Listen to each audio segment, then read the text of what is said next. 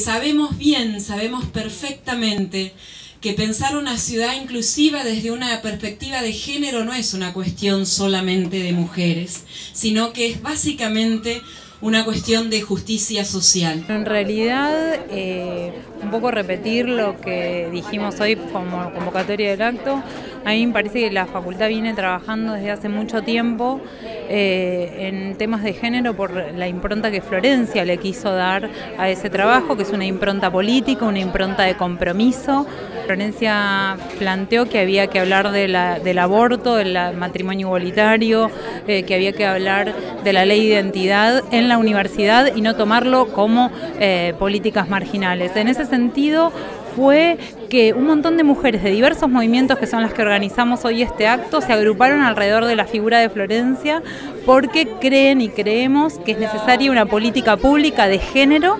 una política pública seria, transversal, que se preocupe no solo por los temas de violencia o los temas clásicos asociados a la mujer, sino por esto que se dijo en el acto, que es por dar poder, dar poder territorial a las mujeres y generar condiciones de equidad a, partir, a pesar de las diferencias. Me parece muy clave porque tiene que ver justamente con pensar una ciudad con inclusión, una ciudad que piense no esta historia de un área de género en un rincón, sin presupuesto, sin poder, sino que mire integralmente en toda la estructura municipal, pero también en las políticas públicas en su conjunto, seguridad, salud, eh, trabajo, eh, todos los temas económicos y de desarrollo de la ciudad deben incluir una mirada de género y me parece que hay una gran deuda de poner en sintonía la ciudad de La Plata con el proyecto nacional popular de inclusión. Yo creo que Florencia desde el decanato de periodismo ha demostrado tener audacia y tener capacidad sobre todo de abrir la universidad, de abrir la facultad y entender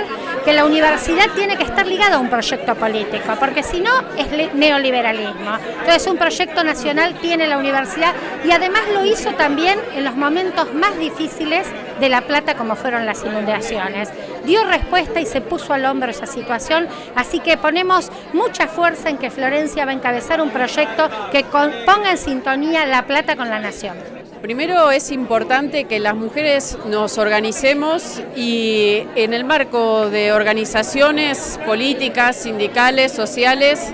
trabajemos la cuestión de género como una perspectiva indispensable,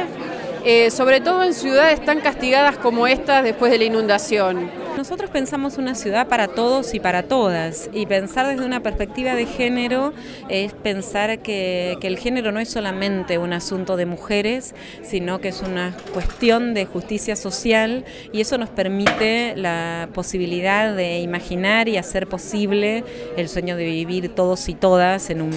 territorio compartido. La propuesta de género acá en La Plata es una propuesta que no la hicimos solamente los candidatos de la lista sino que es una propuesta que tomamos de los diferentes colectivos de mujeres que tienen una amplísima trayectoria en la ciudad de La Plata y que pudimos convocar a una misma mesa para trabajar y pensar juntas.